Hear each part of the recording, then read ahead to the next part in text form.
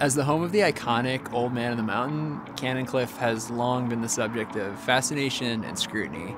Now, 20 years after the Old Man's collapse, we're finding new reasons to take a closer look at the cliff.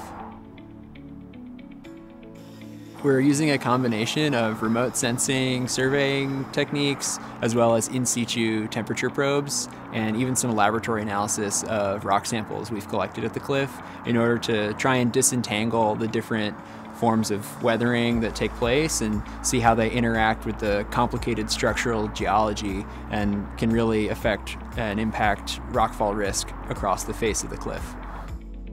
We know the climate in New England is warming, just like it is in many other places, and we want to see if we can understand and predict how bedrock weathering rates will respond to that going forward.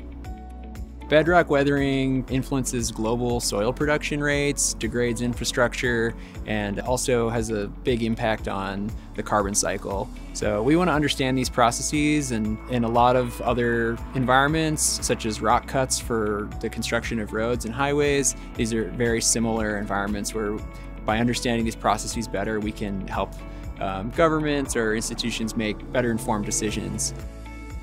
One of the most exciting elements of this project has been working with people who've been thinking about and studying the cliff and the old man for years.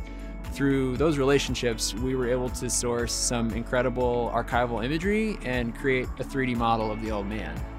We've made a fully interactive 3D environment where users can explore the old man back up on the cliff like they never could have before.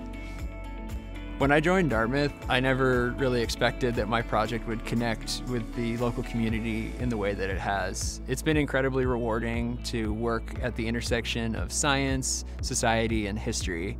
I can't wait to see what the next chapter holds for Cannon Cliff and the Old Man.